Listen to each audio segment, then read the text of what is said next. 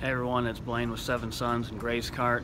I'm here in the Fort Wayne International Airport. Um, I'm with um, my brother Bryce and Bruce. We're headed to uh, Crescent City, California for a quick three-day trip. We're going to be visiting Alexandria Farms. Um, their farm is just located a few miles from the Pacific coast. We, uh, we learned about this farm when we came across an article in the New York Times that uh, was featuring their uh, pasture uh, raised hen operation. Uh, we know there's lots of operations across the country that uh, uh, they're doing things that we can learn from, so that's our goal is to go out and uh, uh, learn from Alexandria Farms. Hopefully, be a, a, a mutual uh, blessing in the information that we share with our each other's farms. And so I'll check in with an update um, as we get closer and our journey progresses.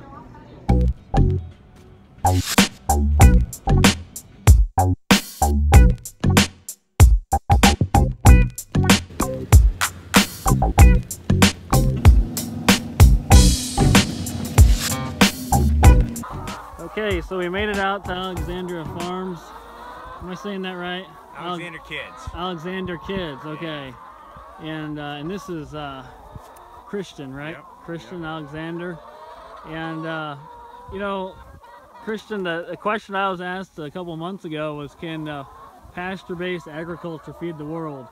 Um, and uh, and can we do this at scale? Tell us what you're doing here with your dairy operation and the hen operation here. Yeah, we're we're doing. Uh, we milk cows on four dairies, and uh, we have a lot of chickens right here. Um, and, and we're able to do it at scale because we've got green grass and, and this ability to grow green grass in the summer, in the winter, and, and spring and fall.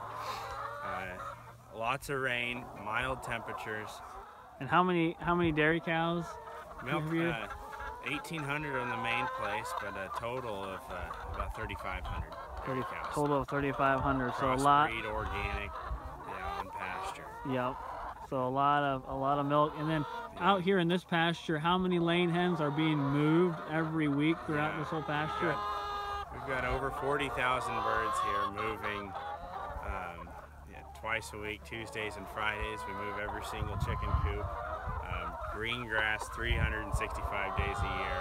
Yep. and uh, we we get some frost, but it doesn't freeze. Um, we get some rain, and the chickens go under the coop. Um, our winter temperature and summer temperature fluctuate 11 degrees, so our uh, Wow. uh, it's a very mild climate for No- these birds. Northern California. That's, Yeah. what, that's what you get here. Pretty much Washington. Yeah. So 40,000 lane hens being rotated on pasture.